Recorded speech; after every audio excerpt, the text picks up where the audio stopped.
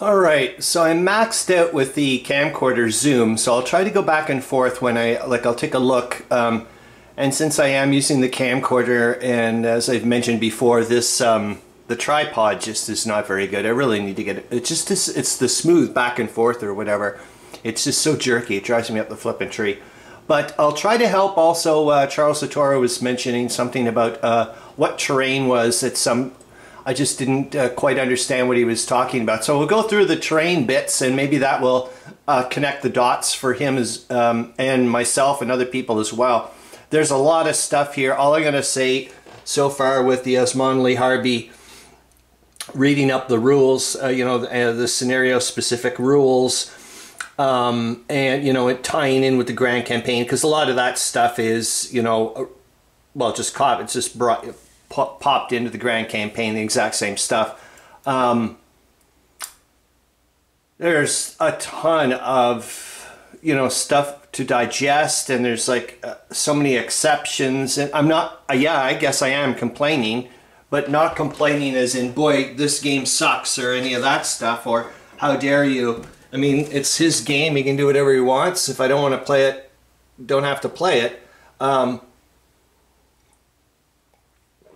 So I'm not putting the blame on him or the rule system or any of that stuff. That's what uh, what I'm trying to say. It, it's it's what it gets to. What can I deal with is what I'm trying to to put it across. And I hope I it comes across that way. In other words, I'm not trying to diss it or whatever. It's just like okay, but there's a threshold for what I want to do and what I want to get a you know get going kind of thing. It's just I find for me right now when I'm reading, maybe it'll be easier in the long run once I get, you know, I, I do a few dry runs of the mechanics.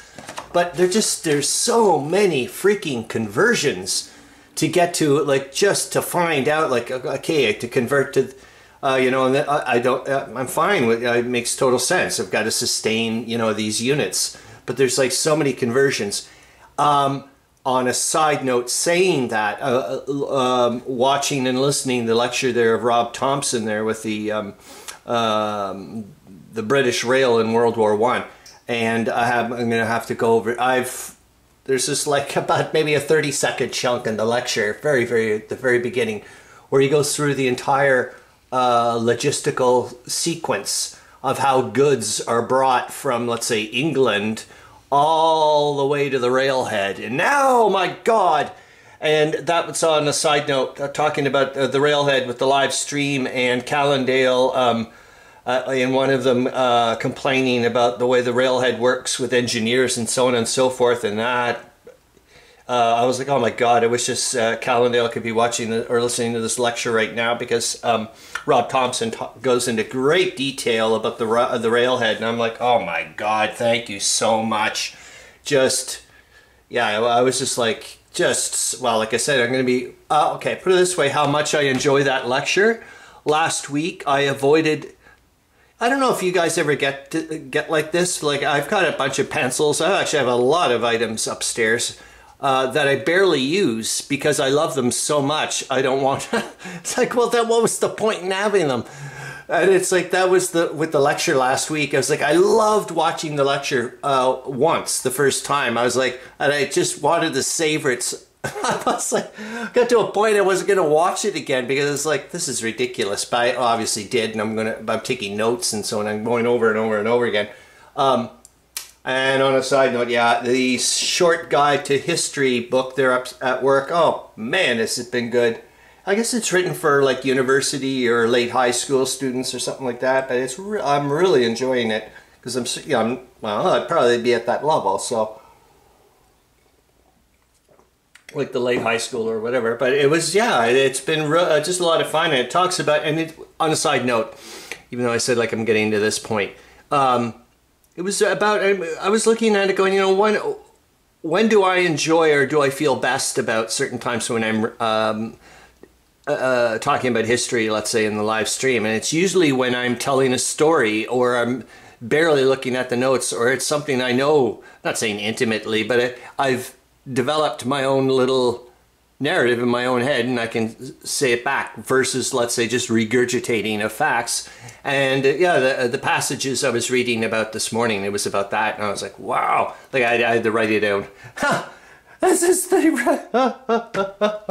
the ironic thing. I wrote that out in my notes, and then the next bit, like I was like, oh god, I really want to read it, like quote it, like put this, you know, so I can read this properly later. And the next chapter, it's ironic. I'm not doing, wasn't doing it for that, but it's about plagiarism. Ah! Oh my god, I just thought it was funny. Anyways, remember this little spot? This is, oh my god, it's just unbearably hot and humid here, by the way. It's affecting even the way um, my pencil lead to the paper because the paper is starting to soak up all the moisture now, eh? And it's, um, uh, it's just not, um, the pencil lead is like I almost, uh, um, well, I did for a little while. I switched to a 4B, so I can't use the zebra pen. Well, I went back to it, but um, for a little while I was using a 4B pencil Um, because I was just like, geez, it just was not reacting uh, the same way I'm not used to. Um, anyways, on a side note, so yeah, uh, you have to. There's like a zillion things you have to take a look at of like when you land, like picking landing sites. Um, and each landing site, as far as I know, this is all stuff. Just, just you know, just grasping. As far as I know, a landing site acts as a uh, um, a level one operating port, which means I think you're allowed to bring there and back, uh, kind of like a you know uh, load and offload, uh, three supply points and or uh, sorry, three strength points were, uh, worth per turn or something like that, or supply points. Um, and then there's a gazillion other things about br- brigades and divisions and like how how these represent like a I think a battalion is one eighth work, work, worth of a division, but I'm like, well, where do these battalions come from? But I guess this is because we're getting down to that weirdo level, and probably a lot of exceptions, getting down to that Gallipoli level, where or other things where it's, um, you know, it, yeah, I mean, you know, the the entire game up to this point has been divisions and all that stuff, brigades, some brigades and whatnot. But then and now you're getting in, into this and regiments, sorry engineering regiments and whatnot, maybe. Ha, ha. Oh, brother. Anyway, so yeah, it's but you, you get my point. It's so this is interesting. I'm going to say this on a side note, even though I'm like everything's going to be in a complete different flux of like the big armies. They're going to be not going to be historically because I get to do whatever the hell I want. It's the grand campaign and blah blah blah. I'm doing whatever the hell I want.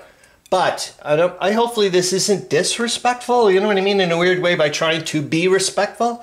But the original Gallipoli landing forces, all those, I'm not altering. So that Gallipoli force, like I said, the if I can remember some of them, the 30th um, uh, Orient, um, the French Orient uh, Corps, I think, I do believe. Oh, darn it! Uh, uh or no, was that was it the first? I think it was the first and the um, yes, it's the first. That's right. It's the first, and it was the uh, Der Weltkrieg rule says the seventeenth. But Dave Schroeder versus Wikipedia. I mean, you know, I'm going to go with Dave Schroeder every time, kind of thing. Um, there's and there was also what the the uh, the New Zealand and Australian division, the first uh, Australian division.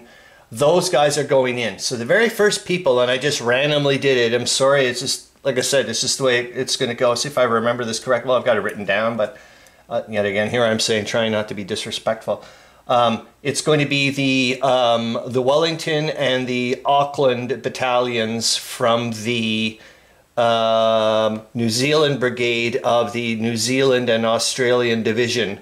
They will be the very, very first people to land, um, well, in this area. Um, if everything goes right. And remember, this is the beauty of these up to a certain point. I can call this off. If things start don't not working well, uh, I have to see what you guys can see. Uh, can you see down here? Oh yeah, you can see tons. Okay, goody. Holy smokes, I didn't could see that much. Okay, or can you see this way back down here a little bit? Holy, really? Okay, maybe I don't even have to move the camera practically anything. Yeah, well, no, not really, because none of that's of any concern. Wow, okay. This is a lot better than I expected, except, of course, if I had my flipping head in, uh, the, I don't know if I did or not. I'll, I'll, watch later. But, okay, so this place, Heffa, or, or whatever it is, so that's the uh, one of the ultimate objectives. And, it, of course, I know that there's going to be crusade um, connections left, right, and flip and center because of the, the place it is. I mean, well, why in the world would I have called it the Ninth Crusade and all that stuff? Anyways, far as I know, this had something to, like I said, I, you guys are going to know more than I do. Something to do with the Third Crusade, Richard the Lionheart and stuff, something with his wife as well. So this spot here, as far as I know, is I, yeah. I looked it up this morning. I was like, yeah, what a great way to like bike on to work. Acre or ACRE, and uh, I know that was a uh, important place for Cadfael in uh, the Cadfael books and so on and so forth, and obviously with the Crusades. Um, so yeah, it's gonna be a big long. It, it may never happen. It's gonna take forever to figure out. Um, and remember, there's two offensive or two things happening. I think the British are going to be launching their offensive before the Ottomans were ready. Uh, I, th I, think the German, uh, the British are in January 6th is when they want to launch their offensive towards Gaza. And this is tons of stuff I still need to read. Oh my gosh. On a side note, I did read today that um, I, I got, I don't know where, uh, one of them was called Wadi El Hafa or something, and it was along the Nile. It was part of the. Uh, it was a uh, part. uh, it was a rail network, a rail line that was built by the British. It was about 550 kilometers long, I do believe, and it went through the desert. Um, so that's about 30 hexes if I converted it right. Um, in Der Weltkrieg terms, that's significant. They did it in about 15 months. Um, and, oh shit, was there anything else I could say about it? Probably. It was during the uh, Sudan. Yeah, I went to the Sudan. It was during Su the Sudan campaign. I have no idea what that's about. So there we go. Um, I'm just using that as things are not impossible. However, that's with a British Empire that probably is flush with money versus the Ottoman Empire that's broke beyond belief and is relying heavily on the um, on the uh, on the Germans supplying money. On a, on a, uh, yet again, a side note, I'm still not getting to the train bits and um, the Ottoman uh, plans. Just quickly, I'm just a little bit. Is you know it, has been uh, it's a repeat metaphor or repeat whatever.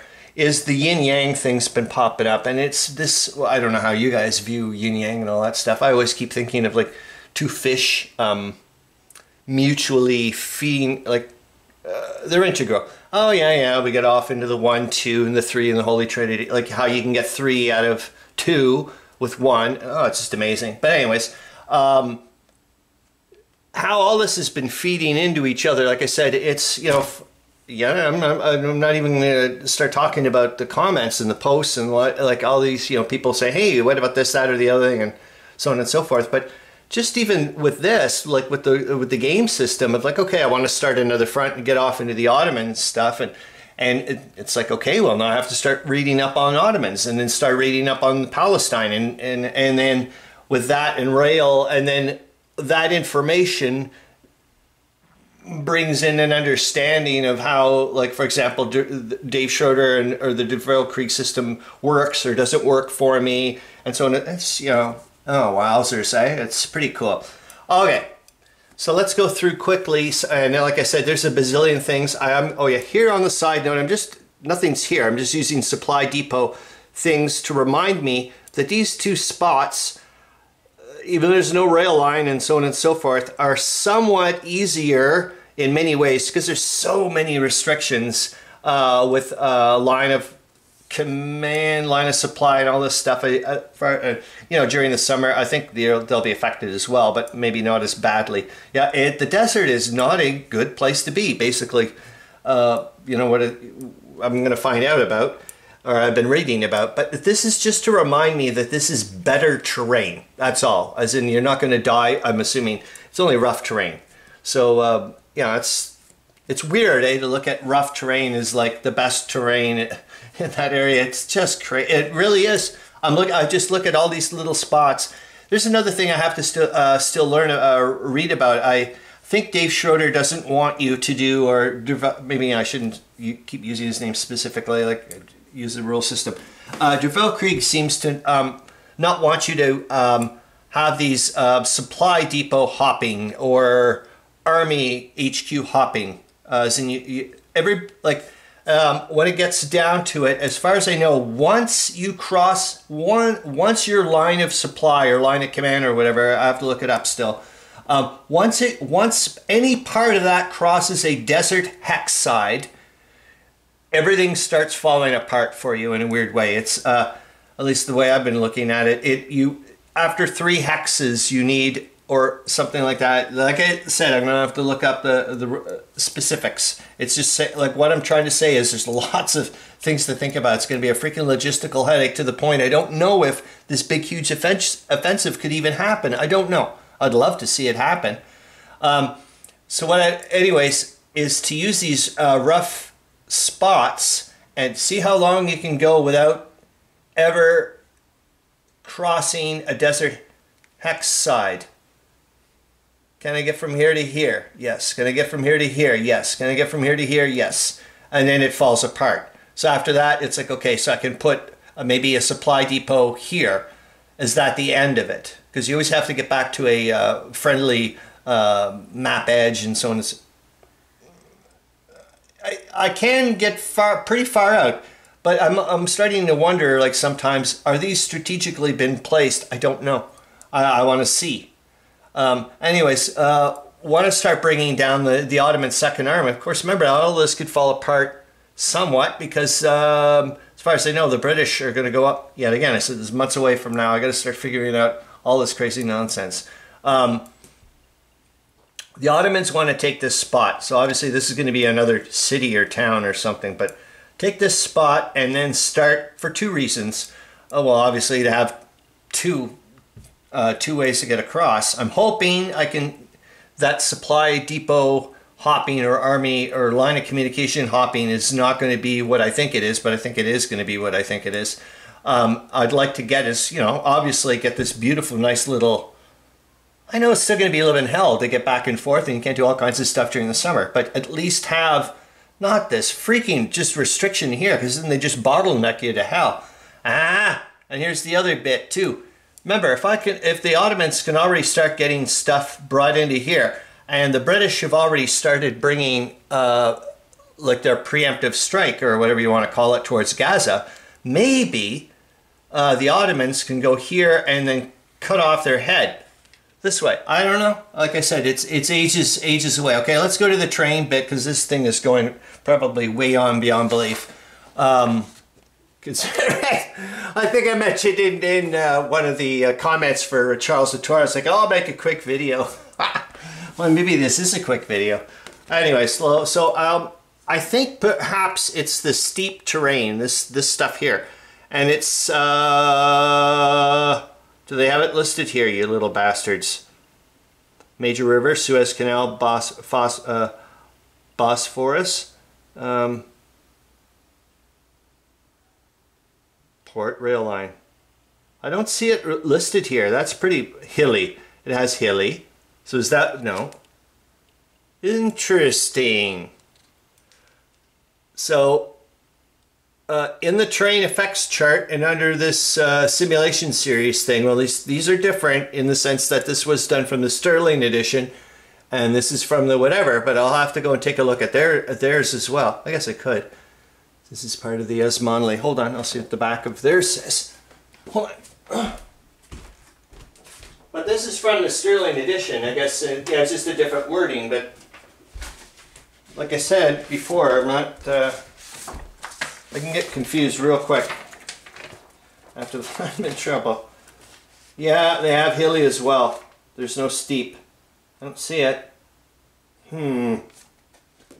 Anyway, so these are different. Uh, so thank you, Charles Latora. Inadvertently, even if that's not what you wanted to talk about. So that's steep terrain. And steep terrain is hilly. And it uh, seems to be just like nothing. In that um, it's a little bit worse than broken, but not as bad as woods. In that it only costs one uh, movement point to cross and um, minus two to the die roll and plus one to the die roll. So it's kind of uh, half broken and uh, or one third broken and two thirds woods. If you can see see that bit. I think that's what you wanted to look at. Anyways, there's a zillion other things to think about. Oh my goodness gracious me. All I gotta say is this. I don't, I would, the amphibious assault, I think, has got more chance, not of success, more chance of happening based on the rules than some kind of crazy big offensive both sides. I don't know. But uh, fun as flipping hell to still uh, figure this all out. Uh, that's it, and um, off I go. Okay, see you later. Hope you're having a great time. Bye.